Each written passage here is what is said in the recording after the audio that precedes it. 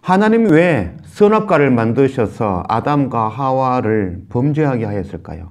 만일 선악과를 만드시지 않았다면 영원히 에덴 동산에서 살 수 있었던 것이 아닐까요? 말씀 창세기 2장 말씀입니다.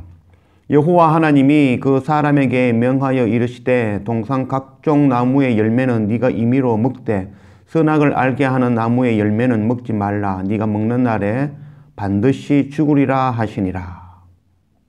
사람을 에덴 동산에 두시고 다스리게 하시고 그 가운데에 있는 선악과를 따먹지 말라 하셨습니다. 그것을 따먹는 날에는 반드시 죽을 것이라고 하셨습니다. 우리는 하나님의 말씀, 선악과를 따먹지 말라 하는 그 하나님의 말씀을 어기고 따먹었기 때문에 불순종하였기 때문에 벌을 받았다고 생각합니다. 이것은 우리의 원죄성이 생각하는 생각입니다. 그러나 만일 사람이 그 독약, 독약이 있는데 그것을 먹지 말라 했습니다. 근데 그 독약을 마셨어요. 그래서 죽었습니다. 그 사람을 죽게 한 것은 먹지 말라, 마시지 말라 하는 그 말을 불순종했기 때문이 아니라 그 독약이 사람을 죽게 하는 것입니다. 선악과를 따먹지 말라는 하나님의 명령을 불순종했기 때문에 죽는 것이 아니라 그 선악, 그 선악과가 우리를 죽게 하는 것입니다. 선악, 선악을 구별하는 것은 오직 하나님께서 하시는 것입니다. 근데 그 선악이 우리 안에 들어와서 우리 스스로 선과 악을 구별하기 시작하였던 것입니다. 큰 과일이 좋은 것인가요? 작은 과일은 나쁩니까? 키가 큰 것은 좋은 것이고, 키가 작은 것은 나쁜 것이고, 부자는 좋은 것이고, 가난한 것은 나쁜 것이고, 또 공부 잘하는 것은 좋은 것이고, 또 공부 못하는 것은 나쁜 것이고, 아름다운 것은 어, 좋은 것이고, 못생긴 것은 나쁜 것이고, 눈이 크면 좋은 것이고, 눈이 작으면 볼품이 없는 것이고, 옷을 벗었으면 부끄럽다는 것. 그것은 하나님께서 정하신 기준이 아니라 바로 우리 속에 들어온, 들어온 그 선악, 내가 판단하는 그 선악에 의해서 판단되어지는 것입니다.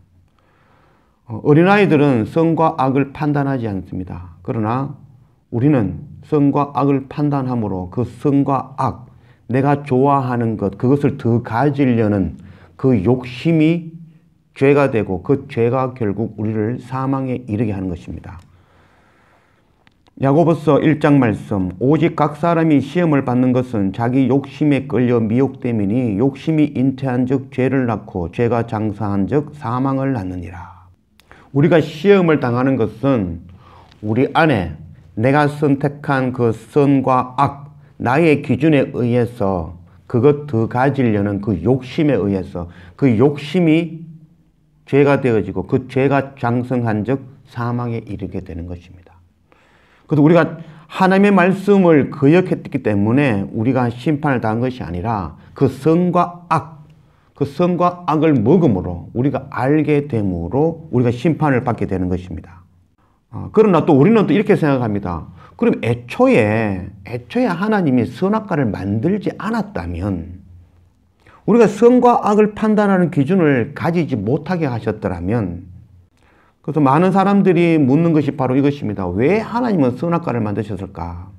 이것은 하나님의 창조의 목적이 사람이라는 것을 알면 쉽게 풀리는 문제입니다. 사람은 자유의지에 의해서 스스로 선택할 수 있는 존재입니다. 동물들, 짐승들은 땅의 것을 본능적으로 선택할 수밖에 없는 존재입니다. 그러나 사람들은 우리의 선택에 의해서 땅의 것을 선택할 수도 있고 또한 하나님의 것을 선택할 수도 있는 것입니다. 이사야의 그 말씀을 통해서 계속해서 주시는 말씀이 세상에 먹을 것, 입을 것 구하지 말라. 세상의 힘, 세상의 방법, 그거 의지하지 말라. 그래서 세상 것, 그거 포기하고 내려놓아라. 그래서 하나님의 나라, 하나님의 것을 선택하라. 그것을 위해서 계속해서 주시는 말씀입니다. 이것은 우리의 자유 의지에 의해서 선택할 수 있는 것입니다. 태초에 하나님 만드신 그 에덴 동산에는 모든 것이 하나님의 것이었습니다. 모든 것을 선택해도 하나님의 것을 선택할 수 있는 상황이었습니다. 만일 모든 것이 하나님의 것, 하나님의 것만을 선택할 수 있다면 그것은 결코 자유의지가 될 수 없을 것입니다. 아, 예를 들어 우리가 어, 식당에 갔는데 메뉴가 하나밖에 없어요. 만일 짜장면. 메뉴가 하나밖에 없는 그 식당에서 마음껏 선택하라. 그것이 정말 옳은 말일까요? 마음껏 선택하라. 원하는 것을 선택하라 하지만 메뉴가 하나밖에 없다면 그것은 우리의 자유의지에 의해서 선택한 것이 아니라고 할 수 있겠죠. 하나님께서는 우리를 자유의지가 있는 인간으로 만드셨습니다. 그 자유의지는 하나님을 선택할 수도 있고 하나님을 거부할 수도 있는 그 자유의지입니다. 그 자유의지를 나타낼 수 있는 방법은 바로 선악과였던 것입니다. 하나님 아닌 것을 선택할 수 있는 존재. 그것이 바로 인간인 것입니다. 하나님의 전능하심은 우리, 우리 인간을 하나님을 거부할 수 있는 그런 존재로 만드신 것, 그것이 바로 하나님의 전능하심인 것입니다. 만일 우리가 하나님만을 선택할 수 있는 존재라면, 하나님 밖에 선택할 수 없는 존재라면, 그러면은 우리는 로봇과 다를 것이 뭐가 있을까요? 프로그래밍 된 그 어떤 그에 따라서 움직이는 로봇. 그래서 하나님을 찬양합니다. 하나님을 찬양할 수밖에 없는 존재. 그래서 하나님을 찬양하는데 우리가 찬양하는 것이나 카세트 테이프가 CD가 하나님을 찬양하는 것 무슨 차이가 있죠?